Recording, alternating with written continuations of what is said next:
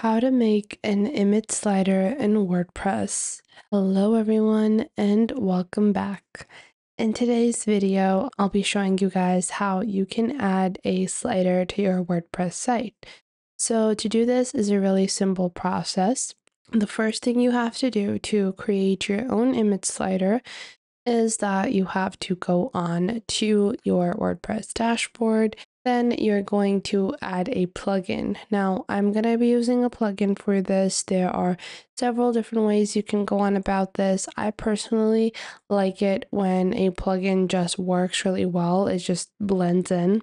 So I want to add a slider on the top of my site. So I'm going to go into my WordPress dashboard. And in my WordPress dashboard, I'm going to click on the left panel where it says plugins and you're going to click on add new plugin. Once you click on add new plugin, just search for smart slider or you can even just search for slider over here. There are several different slider applications. I am going to be using Smart Slider 3 and I'm just going to click on install now. Once you click on install now, you are going to then click on activate. Once you click on activate, your smart slider will be activated on your WordPress site. So now that our slider is a active plugin, you will see it over here. You will also uh, see it on the left panel as well. You should be able to find the smart slider like so. So now you can click on your smart slider over here to see, you know, your basic onboarding. Just click on go to dashboard.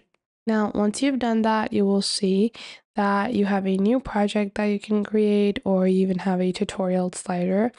I'm going to move this tutorial slider into the trash and we're going to click on new project. Now I'm going to click on create new project and I'm going to choose a simple slider. Then you have different slider types. So if you want to build a simple slider, you can do it. But if you want to build a carousel or a showcase, those are features that are reserved for the premium version of this application. After that, you're going to name your project. So this is going to be my homepage slider. And then you're going to choose the width and height. So this is 1200 pixels by 600 pixels. I think I might want this to be a bit longer. Uh, so for that, I am going to actually go with 1200 by 1200 and you can choose the layout as well. I want this to be a full width layout. Once you've done that, just click on create to proceed with your first slider. Now, once you've done that, it's time to add your slides.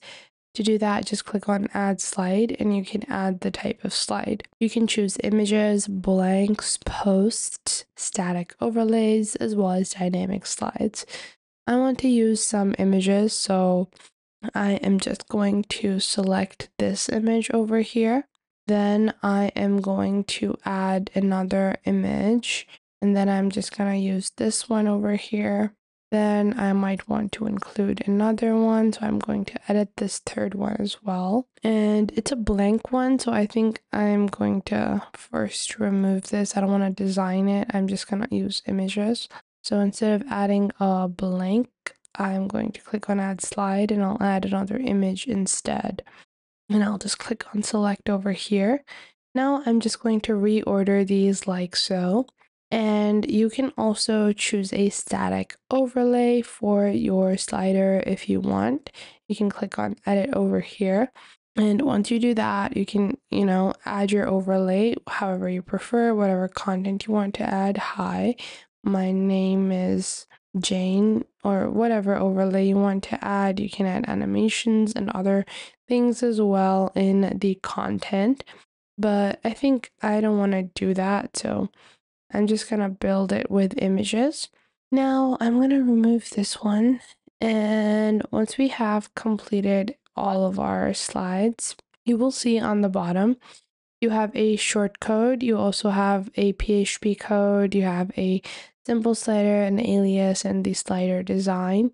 You can also control size. So if you want to limit the slide width, if you want it to be on for desktop versions, tablet versions, and mobile versions, Then you can choose your breakpoints as well as layouts of the slider. Then you can monitor the controls. So you want a icon if you want mouse wheel to be disabled. Then after that, you have arrows, the type of arrows you want to display on the slider. Let's say I want these ones. Then you can also add previous color arrows. You can add the previous position, next position, the tags, as well as bullets, text bars, or shadows on the slides. And you also have your image animation. So you can add some background animations like these. So these are pretty intense. I personally don't like them.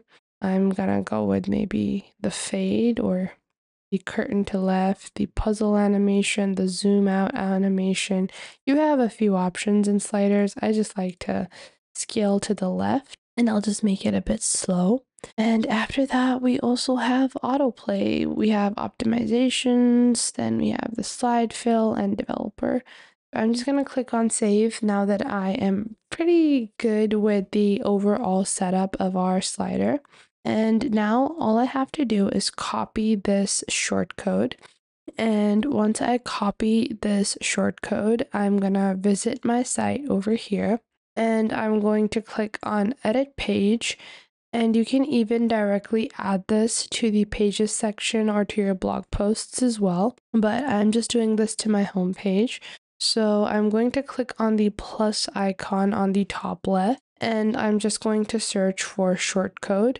Now you will see the shortcode block over here. You're going to add this and then you will see on the center it says um, write shortcode here. So you're just going to paste in the shortcode and you can just hold this like so to move it into position. So I'm just going to move this to the top like so. And once you've done this, you are just going to click on save. And then once you have saved these changes, click on a view page. And your slider should take effect within no time. So you guys can see this is what the slider looks like. Uh, it's a bit too large. I do have to orient it a bit because the images don't look really uh, smooth. So Still, we currently still have, you know, added our slider and now I can go back and make alterations into the alignment, into the margins, as well as the overall layout of the slider. So that was it for today. I hope you guys found this video helpful. Make sure to like this video and subscribe to the YouTube channel and comment down below the best tips and tricks that I have taught you within this video. And make sure to also share this video with your friends and family and to other creators as well so you can help them out as well and to anyone that might need to know this basic detailed platform and how you navigate through these different social websites. So I hope this was helpful enough for you and make sure that you do leave a comment down below if I missed out on anything and if there is anything you would like to add and I will catch you guys in the next video.